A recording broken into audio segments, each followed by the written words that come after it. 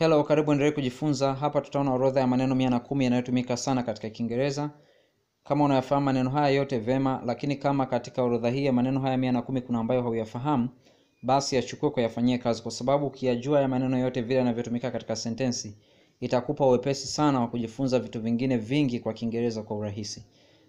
Twende moja kwa moja katika orodha tulionayo, na hapa nimeyagawa katika maneno kumi kumi ili ikupe uwepesi wa kuyapitia tena na ikiwezekana kama una, kuna sehemu unaandika basi uweze kuiandika kwa urahisi zaidi katika mafungo hayo ya kumi kumi. Twende moja kwa moja katika orodha hii tulionayo. Number one, kuna neno a a. Number two, about about. Kwa hapa nakupa tu matamshi, lakini ukayafanyie kazi, maana yake kwa upande wa kupata maana na pia kujua namna inavyotumika katika sentence. Number three, all all. Number four, and and number five as. Number six at. Number seven be. Number eight but. Number nine by. Number ten can. Twende orodha inayofuata ya kumi na moja mpaka ishirini. 11 come. 12 could. 13 day. 14 do 15 find 16 first 17 for 18 from 19 get 20 go. Twende katika namba 21 mpaka 30 21 have. 22 he. 23 her. 24 him 25 his. 26 how.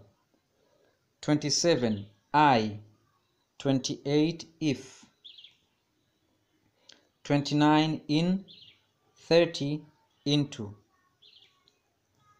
Twende inayofuata 31 mpaka 40 31 it. 32 its. 33 like. 34 look 35 make. 36 many. 37 more. 38 my. 39 no. 40 not. Inayofuata 41 mpaka 50 41 now. 42 of. 43 on. 44 one 45 or 46 other 47 out. 48 people 49 see 50 she. Hamsini na moja mpaka sitini 51 so 52 some 53 than 54 that 55 the. 56 there 57 them. 58 then. 59 there. 60 these. sitini na moja mpaka sabini. 61 they. 62 this. 63 time 64 two. 65 two. 66 up. 67 use. 68 way. 69 we. 70 what twende sabini na moja mpaka themanini. 71 when. 72 which 73 who? 74 will? 75 with? 76 would? 77 you? 78 your? 79 an? 80 also? Twende themanini na moja mpaka tisini 81 because. 82 even. 83 give. 84 here 85 just. 86 no. 87 man. 88 me. 89 new. 90 only. twende tisini na moja mpaka mia moja 91 say. 92 take. 93 tell. 94 thing 95 think. 96 those. 97 very. 98 want. 99 well. 100 year twende sehemu ya kumalizia ambayo ni mia na moja mpaka mia na kumi. Mia na moja hasa inaweza kasoma kama 101 au 101 hiyo sifuri inakuwa nasoma kama o.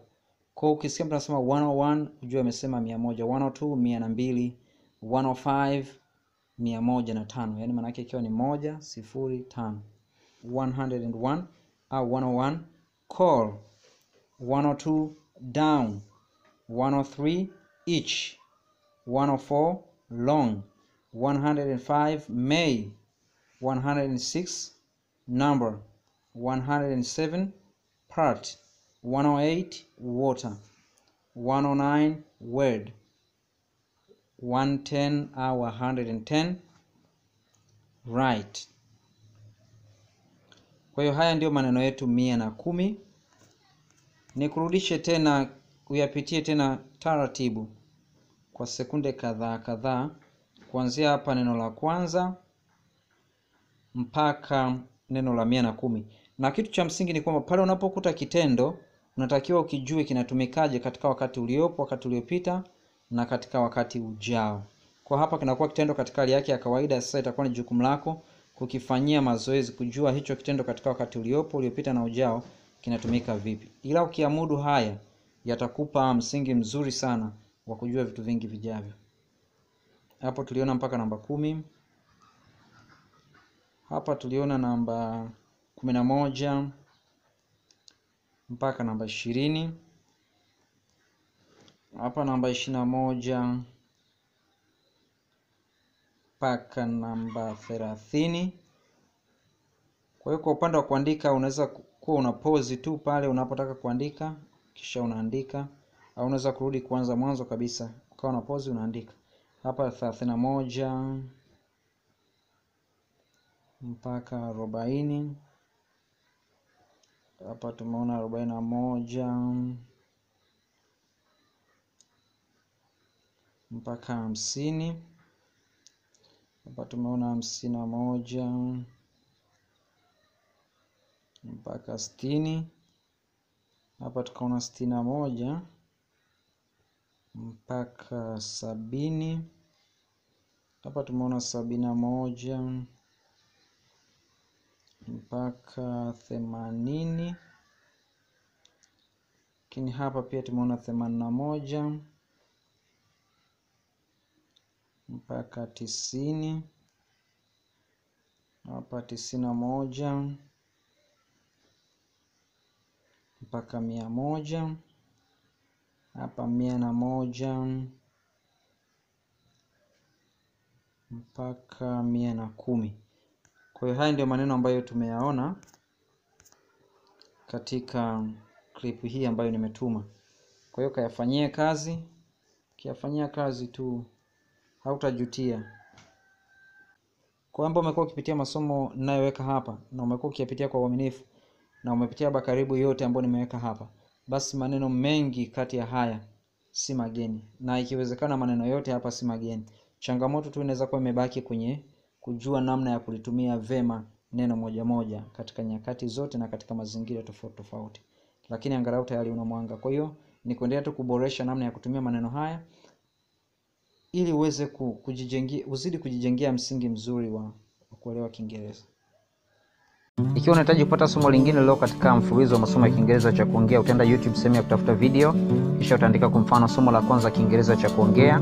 Ikiwa unatafuta somo la kwanza lakini kwa mfano kama unataka somo la kumi utaandika somo la kumi kiingereza cha kuongea na kadhalika. Kwa utakuwa unabadilisha ile namba ya somo tu lakini maneno yote unatumia hayo hayo ili kupata somo tofauti